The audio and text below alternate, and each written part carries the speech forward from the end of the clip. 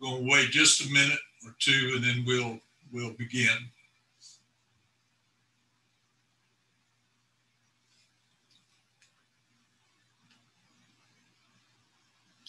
Would like to uh, send out congratulations to the Lander women's basketball team. While they didn't win, they uh, women and the coaching staff, Coach Pedersen and so forth, represented Lander very well. Uh, games were tremendous, and hey, just to get to the Final Four is a is just unbelievable. So congratulations to them.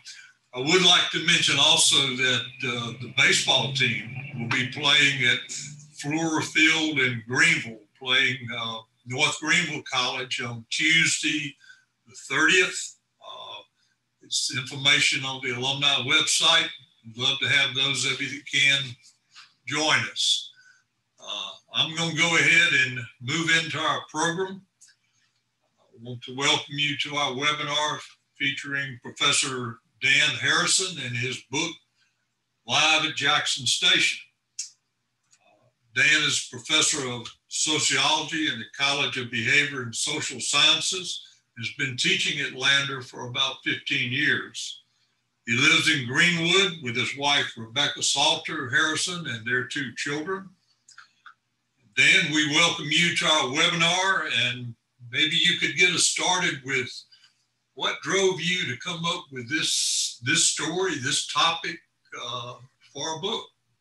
Well, thank you very much, Randy, and thank you, Debbie, and uh, thank you, Mike, and and everybody else. I'm thrilled to be here. Um, I'm really looking forward to hearing from all of the uh, participants here today. And uh, like Randy, I'd like to start off by congratulating the uh, Lander uh, basketball team yesterday for their amazing performance, and and obviously they they fell short, but uh, you know they just make the whole school and community so proud. I I think through their efforts, and uh, I had one of the um, players, Sarah Cruz, who's, who's a very prominent player on the team. She's the sociology major, and uh, and she's just been a, a real joy to have.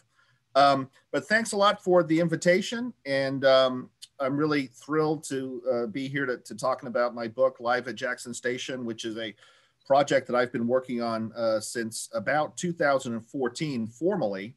Um, I'm not sure if uh, people are familiar with um, Jackson Station, but I would uh, welcome any questions or comments or anecdotes that, that you may have. Uh, Randy, I think I'll leave it up to you to, to monitor the, uh, the, the chat um, or Debbie or, or someone. I, I'm not yeah, sure if I will can, do that. Yeah. Okay. Yeah. And, and just relay any questions or comments um, that people may have. Um, but I, as Randy said, I've, I've, been in Greenwood now for uh, about 15 years. I was at Furman University for a year before I came to Lander and uh, got my PhD from Florida State University in uh, 2000. And uh, my uh, earlier academic appointment was out at Western State College in Colorado.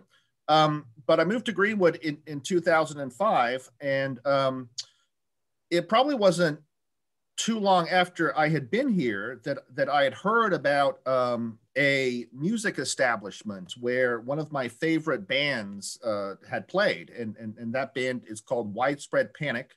And um, some of you may know that name. They're a rock group out of Athens, Georgia. And they came on the scene in the uh, mid 1980s. And I first heard about them in about 1990 when I was uh, working up at uh, Table Rock Mountain in North Carolina for Outward Bound. So I moved to Greenwood, and I hear through friends and acquaintances that back in the day, uh, Widespread Panic had played, you know, some concerts in Greenwood, and that kind of, you know, struck my fancy, struck my interest, and and I wondered just where where that would have been. Uh, I know that the Civic Center used to have some music shows and things. Actually, some pretty big, you know, country shows, I think, back in the day, and uh, maybe some big, you know, rock and roll shows and, and hip hop shows and things. Um, so I asked people, well, was it the Civic Center? No, it wasn't the Civic Center. It was someplace up up in Hodges. And the only place that I knew up in Hodges at the time was Otis Harvley's uh, tiny little bar called the Waterhole. And uh, I had driven by that on a number of occasions, and it really is just a little dive bar. I mean, the place is pretty tiny. And so I, I knew it couldn't be that place. And then finally, um, I realized that it was the building adjacent to Harvley's, which uh, was Jackson Station. And uh, if you've been in the Greenwood area and, and driven up to Greenville from Greenwood and go on 25, you'll go right past it. It's about nine miles uh, due north of Greenwood. Uh, but if you take, like a lot of us do, if you take Grace Street out and then Cokesbury Highway uh, up to where the, um, you know, the, the Diana pet food place is now, you'll miss it entirely. And so it's it's the kind of a thing where you know you you might live in the area for a long time and and and, and never come across it. But like i said if you drive straight up 25 you'll see it. And so um so i finally figured out that that's where jackson's uh, that's where widespread panic had played uh, but didn't really think you know too much of it beyond that you know the years go by and and uh, then in 2014, um 14, I ended up uh, hosting a little live music event at John Holloway's uh, studio. Uh, it was actually outside on, on the back patio. Some of you may remember that John used to have, who's a John Holloway is a is a, a photography professor here at Lander, and he uh, has his own art studio uh, uptown Greenwood. And for about 10 years, well, not quite 10 years, he would have live music events there. And um, so I was the sponsor of one event in 2014 by a singer songwriter by the name of Walter Salas, Walter Solis Humara, who uh, was uh, with used to be with a band called the Silos. Anyway, long story short, um, Walter ended up uh, staying uh, with me uh, that night to defray costs, and we're having breakfast in, in the morning and he says, uh, you know, tell me about Jackson Station. And um, I told him, you know, what I what I what I learned, and I said, well, you know, why do you ask? And he said, well, I was just having dinner with a friend of mine, Jeff Calder, another musician in Atlanta, and he was just raving about the place and how you know amazing Jackson Station was, and how diverse the crowd was, and the people, and how people they would just stay up till five o'clock in the morning, and the owners, this guy Gerald Jackson, this gay former uh, Navy, you know, medic uh, ran it with his elderly uh, mother and, and, and his boyfriend. And it just seemed like such a interesting place that I decided to do a little asking around. And so I, I, I you know, talked to some of my friends and acquaintances and, uh, and they said, oh yeah, uh, that's, that's Jackson Station. Uh, Gerald, um, you know, that's, that's, that's the place where the owner got hit in the head with an axe. And I, I said, uh, excuse me, what, what, what, do you mean by, and so I did, I dig, I, I, was digging a little bit deeper and realized that, you know, not only had, was Jackson Station a, you know, former, uh, you know, blues club in the greater Greenwood area, it was also the site of a very vicious crime. And, um, at this point in time, I had just finished up my first book, was, which is called uh, Making Sense of Marshall Ledbetter, The Dark Side of Political Protest, which is available uh, through University Press of Florida.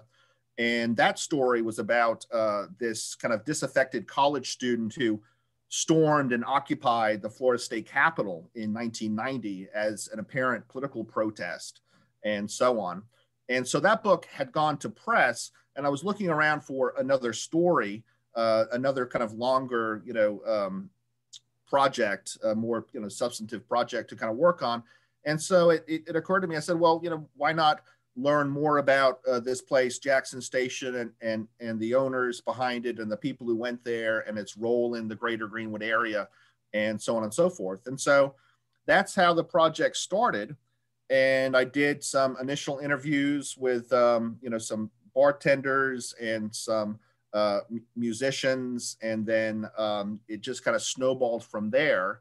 And uh, with the exception of um, about two years in, in 16 and uh, 2016 and 17, when I was uh, working on a, on a grant relating to sea level rise and uh, storm surge in, in Charleston, I've been pretty much working on, on this project ever since.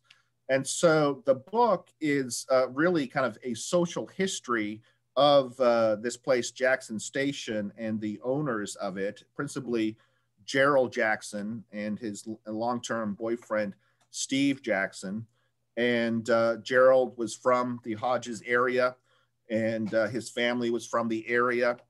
His uh, grandfather um, actually owned a general store um, back in the day. I think in, in 1919, uh, I believe, is when he, he opened that general store, which was then taken over by Gerald's uh, father, um, who unfortunately passed away. Um, Gerald grows up in the area, goes to um, Northside Middle School, attends Lander for a while. I'm not sure exactly when. Um, didn't graduate, I believe, um, but uh, in 60, I think it's 69, uh, ships out to Vietnam. And he was a, a Navy medic and he was attached to a uh, to a you know marine company and uh, he would you know he would provide medical uh, you know attention as best he could on the battlefield in in Vietnam and so he had kind of you know obviously a very uh, you know salient uh, traumatic experience emotional experience over in vietnam he comes back and he decides to open up a blues bar and uh, he he uses uh, this uh, this old train depot um, the depot itself um, was actually built in 1870 and uh, it was one of two train depots in Hodges. Um, it was associated with the the um, Greenville to Columbia, Greenville and, and, Columbia line initially, later Southern Railroad. And um, Gerald had been thinking about opening up a blues club, and um, he had this property, which is at the uh, at the corner of 175 and uh, and um, 25 right there on on the highway and uh, he saw some railroad people um, you know kind of milling around uh, near the old corley's um, now it's the the one stop up in uh, up in hodges. And uh, he ended up talking to these railroad men and and purchasing this old railroad station actually for a dollar. And uh, moved it with uh, the help of some of his friends on a huge trailer out to the uh, out to 25, where eventually he set up this blues club, and um, it lasted um, for about 20 years. Actually, uh, you know, I, I I date it to until 1990, which is kind of the um, that's the primary focus of my history because that was the night of the vicious attack on Gerald Jackson in the parking lot. Um, but other people you know, tried to operate Jackson Station for a few years after that. And um, from about 1978, um, you know, into the early 90s, it was, you know, the place to be in Greenwood County. It was the only late night place to be in Greenwood County. The uh, operating hours were pretty interesting. It was uh, 5 p uh, 5 p.m. to 5 a.m.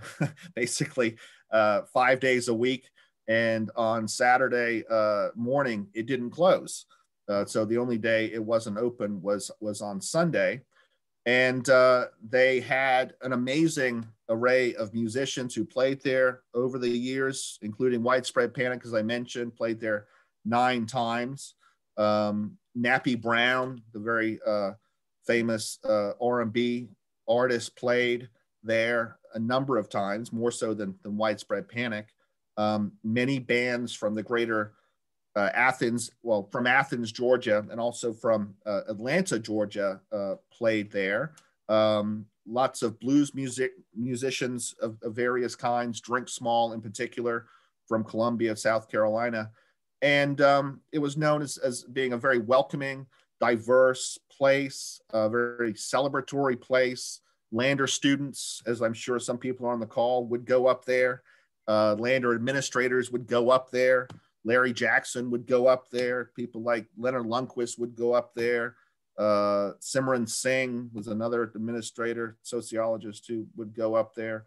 And then on the other, you know, north of, of Hodges, you have, uh, you know, due west, which is of course where Erskine College is. And Erskine and, and, and Due West, as far as I know, is a, is a dry town, or at least was. Uh, they didn't have any bars or anything like that. And so the Erskine uh, students would come down uh, to Jackson Station as well and kind of meet in the middle. And so um, the book really is at its heart, it's kind of a sociological study of Jackson Station and the role it played in the, you know, greater Greenwood area. Uh, people would come from all over. They would drive from Charleston, come down from Charlotte, come over from Athens, you know, come down from Anderson, and so on and so forth, and, and really have a very good time. Um, but in reality, there's sort of a number of different narratives which sort of, you know, interweave and kind of overlap through the book. And, you know, one is basically, it's kind of a, a historical account of the structure itself of this physical thing, you know, this railroad depot, which, you know, was um, built in 1870, as I mentioned before. And so I trace, you know, where did this depot come from and what was it used for? And then I talk a lot about kind of the role that the train uh, and the railways played in Greenwood County and uh, and and beyond, because you know, as we most of us remember, I mean, trains used to be the dominant mode of transportation for people in this country, and uh, you know, before the automobile, obviously, and and um, and so on, and and with the advent of the of the rails, um, you could just get around so much more quickly. And there was passenger service actually out of that depot for well over 100 years, which is uh, which is pretty amazing to, to think about. Um, and actually, um, I don't know if people remember Bronco Rieger, um, who used to work at Lander. He uh, he got to Lander, I think, in the 60s, early 60s, and he's he remembers actually you know, being able to catch a train from Greenwood to take it into Atlanta back then. And so this isn't kind of too distant uh, a memory here. So in addition to sort of the sociological study of this place, Jackson Station, there's another kind of a historical narrative, which is essentially kind of a social history of, um, of Hodges and, and to a lesser extent, Greenwood County as well. And then um, I also focus on um, the role that Jackson Station played in the musical career of these uh, of these artists. And so uh, I go into some depth about the role that Jackson Station played in the career of Widespread Panic, uh, in the career of Nappy Brown. Um, the place really was um, almost single-handedly responsible for resurrecting Nappy Brown's career um, in the late 80s. He basically was washed up as an R&B artist and was working as a janitor in uh, North Carolina. Um, and um, he was doing some gospel music, but it wasn't paying very well. And and uh, Gerald Jackson managed to hook him up with Bob Margolin, who was the uh, lead guitarist for the Muddy Waters band, and um, and uh, they played a number of, of shows at Jackson Station and and beyond. Um, but there's a whole host of of of other um, you know musicians who played there. Uh, Gerald was was very uh, receptive to um, having diverse uh, musical acts and uh, and female acts, and so he would have all female bands, such as the a band called uh, Sensible Pumps, which and they were out of Whitmire, and um, and it's an all female blues band, which uh, always attracted a lot of attention. And um, so I focus on on um, on as I say on on the role that Jackson Station played kind of musically and kind of keeping the spirit of music alive and, and, and Gerald being a patron of music and the patron of the arts um, and uh, other musical uh, bands which I discuss in the book. Uh, Swimming Pool Q's out of Atlanta. They were a quote unquote new wave band. Uh, new wave was a, a, a, movement that sort of um, came about in opposition to uh, kind of the disco of the 1970s. A lot of it was associated with more of like British, uh, you know, post-punk sounds and things, and and bands like um, the uh, Georgia Satellites. They actually played at, the Jackson Station as well. Love Tractor, which is another Athens band, and uh, so I did a lot of interviews with um, with musicians who had very fond and pleasant memories about Jackson Station, and uh, had a great interview with Dave Schools of Widespread Panic. So that was kind of a third thread in the in in the narrative there, and then um, a fourth thread, uh, thread rather uh, has to do with um, essentially the relationship between Gerald and Steve, two gay men living openly as gay men in uh, a fairly conservative place, which uh, was another kind of aspect to the story, which I found quite a, interesting from a sociological standpoint because it's not very common. Uh, it's it's not common now, and it certainly wasn't common then. But they were both very proud, confident, courageous men who were living openly in a loving gay relationship together um, under the watchful eye of Gerald's mother too, and she's another character, obviously. And she was a widow. Uh, Gerald's father died when he was uh, when Gerald was quite young. Um, but uh, Mama Jackson, as she was called, um, had a financial stake in the club. She was around a lot. She worked the door, and uh, and and Gerald would thank her, you know, time and time again for her role in um, in, in putting you know the, the, the club together and in making it, it a success.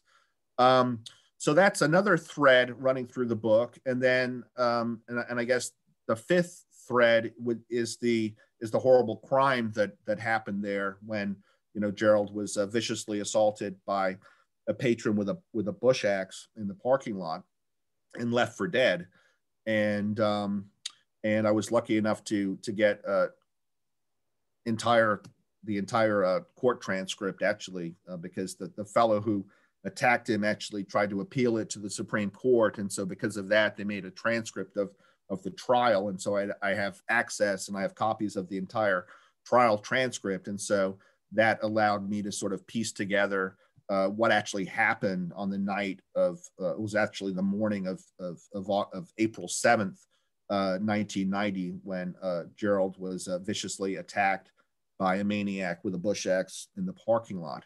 Um, but you know, I think it's to me, it, it, it has been you know a really interesting study and a very interesting story um, because uh, Jackson Station was a very diverse place. It was a very cosmopolitan place.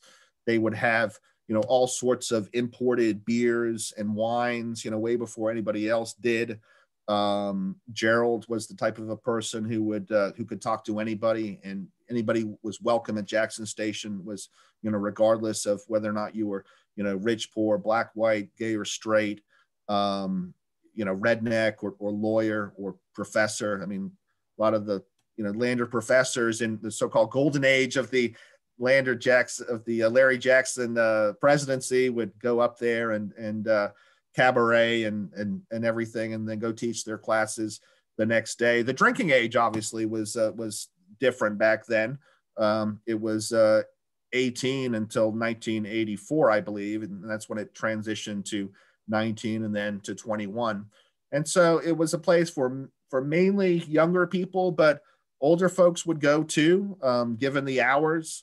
Um, you could go in there for you know a beer and a hot dog or a cheeseburger in the afternoon and in and uh, during the week, and it would be more of kind of a, a low key sort of a place. And then if you wanted more of a lively um, live music atmosphere with uh, you know very loud uh, amplified sound, um, you would come uh, late night on on Friday nights, and uh, you might stay until uh, the sun came up. I mean that happened that happened routinely. And so, as a sociologist, I'm especially interested in, in the role that Jackson Station played in bringing people together and kind of crossing um, you know, different divides, divides based on, you know, identity, divides based on politics, divides based on, on race and so on and so forth. And, um, you know, I, I, think it's important not to overstate it. I mean, it's not like it was some sort of a, of, of a utopia, but I think in sort of the, the very polarized world that we live in today, when um, you know many people on opposite sides of the political spectrum uh, don't want to have anything to do with each other. I think we need to think of of more models of of uh, social interaction um, where people do kind of bridge these walls that we've kind of set up um, artificially between us. And so that's uh, that's essentially an overview w- without giving too much away because I would I want people to obviously buy the book and, and read the book. Um, that's kind of an overview of of the project, and um, it's out now. It's been out for about two months, and um, I've been getting some very good feedback, which has been great. Um, I just got a very nice letter from um, Hazel Bryant, who was Stephen Bryant's uh, mother, who is Stephen Bryant's mother, and I think she's about 91 now. And uh, I sent her three copies of the book as requested. And uh, she sent me a very nice letter saying that the book brought back so many memories, and it was just like yesterday. And and she said it was just like uh, it was just like uh, Steve and Gerald were sort of in her living room, kind of talking to her, and so that was that was really nice to hear. And um, and there's a few reviews on Amazon which have been positive.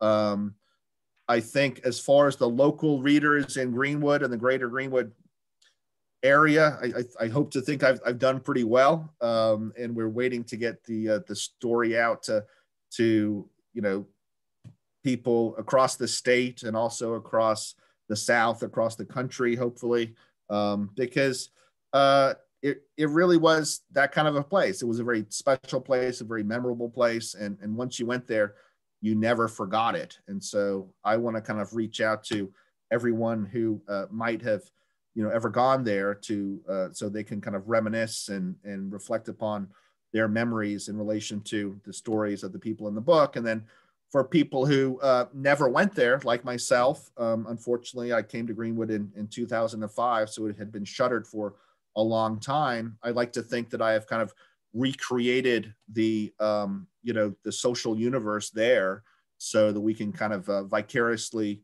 um, you know, enjoy the uh, the pleasures of the place. So I think I'll stop there and maybe uh, turn it over to any questions that people may have, and certainly if anybody has any any anecdotes about the place, I would love to love to hear them. And um, there may be a second edition. Who knows? At some point down the road, and in which case, and, uh, it would be good. I, uh, I read uh, about three fourths of the way through the book, and you very much captured the essence of Jackson Station. Uh, as, as you, it was very much a late night uh, venues. You know, mm-hmm. that was people may have gone somewhere else earlier in the evening, but they ended up at Jackson Station. I can yep. remember many times his mother taking the tickets up, you know, right. when you were coming in. And, uh, you know, inside it, it, was, as you said, just you never knew who you may see there. I mean, I, I would meet a lot of students there that happen, happen to be there. And as you said, there were faculty, people that are professional people from town that, that may be there. Interestingly enough, the acoustics and all were really pretty good. You know, that uh, was a, um, it was a neat place. And when he had some of the good groups in there, I know I, I was there one night when the Sensible Pumps were there, and that you it was you talking about social distance, and it was all you could do to if somebody moved, you moved too because it was packed, not only inside but outside on, on the, the, decks as well. But the other thing I, I, I really uh, learned a little, a good bit about Hodges and the north end of the county. You know, mm-hmm. I, I, never envisioned Hodges as a village that had the number of activities and buildings and the uh, reputation. And I, I, won't say what it was, but I'll, I'll let everybody read the book. But it was quite interesting. And yeah. also the impact of the railroad on the area. You really right. Right. captured that well. We have one question come in in reference to uh, the status of Jackson Station today. I mean, do you yeah. have anything? Yeah, and, and that's addressed kind of at, at, at the end of the book. Um, it, it, was it was shut down at least kind of initially in uh, in October of, of 1990. Uh, Gerald was viciously attacked um, in April of that year, and then um, Mama Jackson, Elizabeth Jackson, you know, owned the place, and so um, you know she needed to do something with it, and and, and so she would uh, kind of rent out the space for different things. It would be served as an auction house for a little while, and it served as kind of a space for a flea market for a little while. And then a few other uh, people tried to, I think there were maybe two or three attempts uh, of, of, reopening it back up, um, but it didn't really have the same magic. And, uh, you know, Gerald uh, was just a very charismatic person, and it was his baby, it was his project, it was his idea all along and uh, and plus the culture changed, um, and um, uh, you know the as I mentioned, the uh, legal age uh, you know to drink changed, and so you had fewer young people kind of going out, and then the police started to crack down more on you know drinking and driving, um, which uh, really wasn't uh, you know much of an issue. I mean, talking to doing interviews with these people who went there in the in the late 70s and, and early 80s, I mean, they would have designated drivers and and so on and so forth. But um, it just you know drinking and driving just wasn't perceived as being really a problem. And uh, and and and I don't think the police either didn't they didn't pay attention or they didn't have the resources. It was just kind of you're on your own you know? Um, and and obviously that changed very dramatically um, especially after the death of Strom Thurmond's uh, daughter in uh, in Columbia uh, from a drunk driver. And so and then the whole culture changed, obviously too. But uh, to the to the question, it, it is currently it, it was it was bought by a fellow who lives in um, who lives up in uh, Donalds, and his name is Daniel Prince. Uh, he works at a, a local uh, textile uh, textile mill over in Calhoun Falls, and um, and his plan is to uh, is to reopen it. Um, whether or not that that will happen kind of remains to be seen. You know, this is what he told me uh, about four and a half years ago when I interviewed him for the project. I have seen him since, um, but he purchased the property from uh, Gerald's sister, uh, who had uh, inherited it from uh, from Gerald's mother when she passed away. Ellen Early was was her name, was the the sister's name, uh, married name, and um, and they sold it, as I said, in, in 2016. And um, it's in pretty good shape. I actually have been in there. It's, uh, you know, you mentioned the acoustics, Randy. I mean, that, that place was made out of uh, some pretty solid timber and um, which was part of the, you know, it reflects the sound, you know, very, very nicely. Um, and, uh, and because of that, it, it's held up amazingly well over time. I mean, the thing is, uh, you know, 151 years old. Which I think I read in, in, your book that it was a uh, some of the discussion with the Southern Railroad people, but an all-weather station, I guess, with the materials that it was yeah built ex- out of. Yeah, yeah. Right, exactly. So it was made to withstand the elements, and it was made to you know house different uh, you know different products commodities of the various kinds cotton and, and, and tobacco you know being the ones initially um, but um, the plan, according to the owner, is is that he will uh, he, he will renovate it, uh, much like you know Gerald renovated it to turn it into a, a club in the first place. It, it, it does need a roof. It does need a uh, an asphalt parking lot. Um, so whether or not that happens, uh, you know, I think is is an open question. Uh, it's an interesting location, obviously, and and and it served the community well in the past. It's kind of it's like many blues clubs. It's kind of a, it's at a crossroads, right? It's at the crossroads of of 25, and you know the amazing thing about Jackson Station is that um, you know you could get to many places, you know, fairly quickly, and so you could you could get to Atlanta, you could get to Athens, you could get to Greenville, get to Charlotte, get to Columbia, get to Augusta and then from there uh, you know you kind of hook into um, you know other musical circuits and so from a musician standpoint you could uh, plug in and um, and, and play Jackson Station, and then go on and play many many other clubs. Well, you know, again, if, if anyone has any other questions, please let us know. Uh, but I will say you really wove in the four or five different narratives very well. When I was interested, when I was reading it, you know, Drink Small was playing the night of the tragedy and was interested in his perspective uh, and so forth. But again, I, it's just amazing the number of really talented musicians and bands that uh, that came through. It was a hole in the wall up there, so to speak. Uh, uh, it was one question we had. Uh, what was your biggest surprise in, in researching the book? Well, um, let's see. The biggest surprise. Um,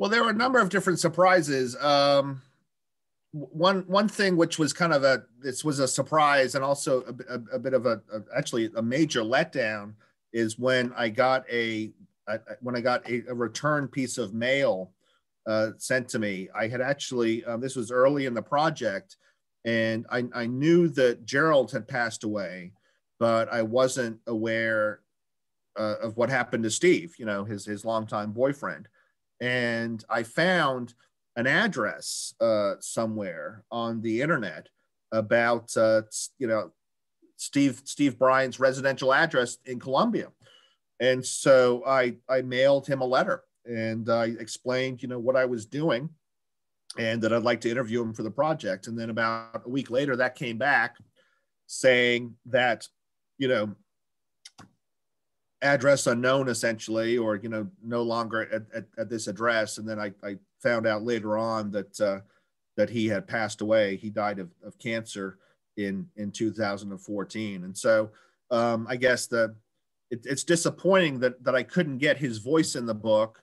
Um, it's disappointing that i couldn't get gerald's voice in the book. Um, I, although i have been told that um, somebody at lander during the early 1980s did kind of a video you know media project in which they interviewed gerald jackson about jackson station. And um, you know what happened to that video cassette i don't know but it, it may be out there somewhere. And so we may be able to get gerald's you know perspective at some point. But um, that may be something you know we can put out on the alumni newsletter for you if anyone had any interest in stories to contact you or whatever. Oh definitely like i said i mean it, it's uh it, has been it's been doing quite well and, and i imagine that i don't know in, in another few years they might want to do a second edition or something and, and it'd be great to add add a few more stories in there.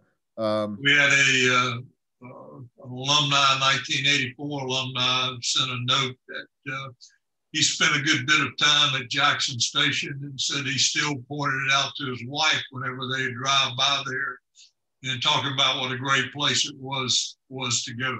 Um, yes, there, there's so again, many. there were so many things there from uh, socially and everybody having a great time there. The music was unbelievable that still just amazes me the, the variety and volume of uh, great musicians who came through. Yes, and it was a great place to get a, a cheeseburger or a they they called it the spur burger because uh, the uh, it used to be on the spur, the railroad spur going right. out to Abbeville, and um, and they uh, they they were known for their hot dogs, and Gerald would make his own chili to put on the hot dogs, and they had amazing grilled cheese sandwiches as well. And so, uh, you know, you, you could see a somebody an, an enterprising person opening it up and and offering, you know, yeah, yeah, you know, sandwiches and burgers and you know, burger joint, kind of like uh, kind of like sports break. You know, interestingly, sports break opened up in 1990, which was the year that Gerald was attacked and so I think that that they were probably that was probably one motivation, right?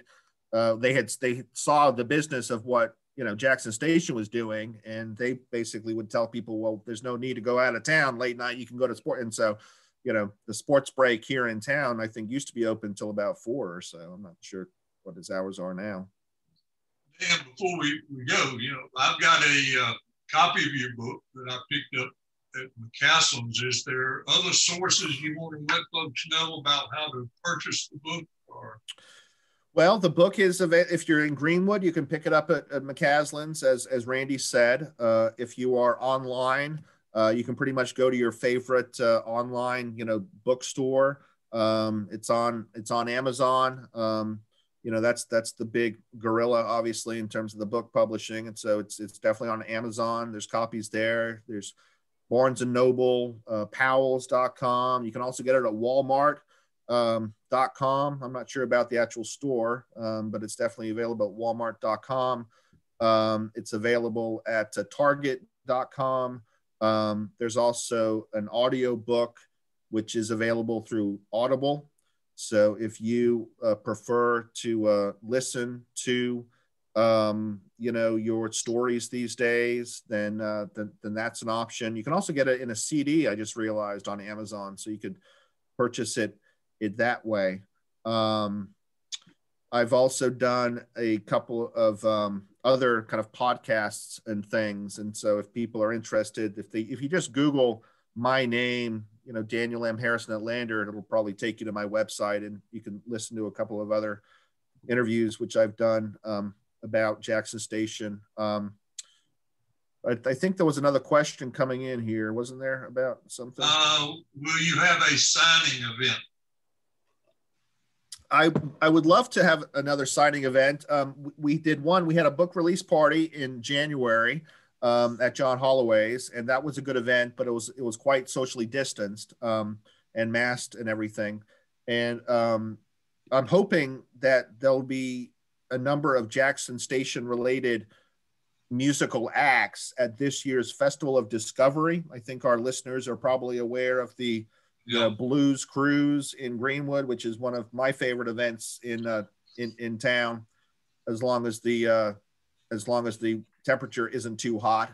Um, but uh, last year, um, they the organizers of that festival actually asked me for my list of musicians that played at Jackson Station, and I gave it to them, and they reached out to a bunch of them and had set them up to play at last year's Festival of Discovery. Now that was canceled, obviously, and so now they're going to, you know, do it again this uh, this year. And so I'm hoping that they will bring many of the musicians that they contacted last year to this year's Jackson Station. And if so, uh, I hope to maybe set up a little booth there or something, and maybe have a signing event there, um, or uh, maybe at uh, homecoming next year i think i'll set up a booth. Mike and i had already kind of talked about that. I was gonna i was hoping to do something this year at, at homecoming but i was i was out of town. Now that'd be a great idea. I'm sure if it's anything we can do to help you as, as far as the signing event we'll sure be able to do it. Uh, before we close i, I, I want to reiterate what i told you while before we went live that uh, i was really impressed with the you captured the essence of uh, Jackson Station and the amount of research. You know, I guess before I got the book, how do you, how are you going to, uh, uh, well, here's one more question. Any ideas about how Gerald and Steve were able to fit into uh, Hodges and Greenwood? Yeah. I, I know, he, he, says, I know Gerald did people favors he sure helped me one time when I need cash on Sunday before ATM. yeah. Well, I, hi Bob. I'm, I'm, glad I'm glad you came. Uh, I'm, I'm still waiting on that review. Bob said that he was going to write a, a, review about the book for me. For me, I will. I will. Good, good, good. So I'm, I'm going to hold you to that. Um, but um, how did they fit in? Well, they were already kind of in, you know, um, especially Gerald, who whose roots go very deep in, in, Hodges, you know, going back to his father, Matthew Ed Jackson before him, and then then his grandfather, uh, Arthur Arthur Jackson, and so um, you know, Gerald was, you know, he was he was a he was a Southerner before he was an American, and he was very proud of his Southern roots. He was very proud of being you know, from South Carolina, from Hodges, and I think, um, you know, he he was a member of the of, of the of the area, right? He was of the of the of the uh, of Hodges. He, he, was he was well respected citizen. Um, the fact that he was a, a, Vietnam veteran, I think too, probably um, helped him out, uh, especially kind of negotiating maybe some people who would uh, maybe cast aspersions on his character for for being gay.